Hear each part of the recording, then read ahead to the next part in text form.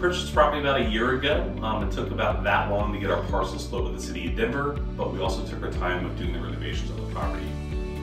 You know, we're a big fan of uh, Wash Park and specifically the Speer neighborhood, which is where we are.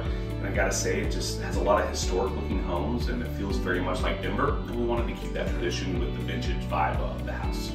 Throughout the rest of the house, we have refinished white oak hardwoods, which look phenomenal. We do have fresh paint on the entire inside as well as exterior of the home. Brand new carpet from the stairs at the foyer going all the way upstairs as well. For the primary bathroom upstairs, we did retile the entire flooring, added quartz countertops to the vanity that's there. It is a shower tub combo, completely redone with tile, brand new tub, brand new trim kits, uh, good storage, new toilet.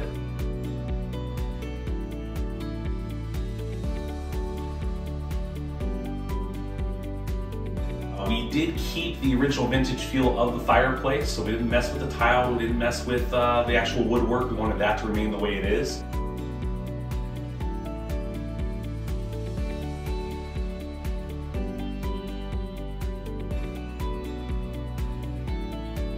So we did an entire kitchen rehab. So we took out every cabinet countertop that was here, got rid of all the appliances.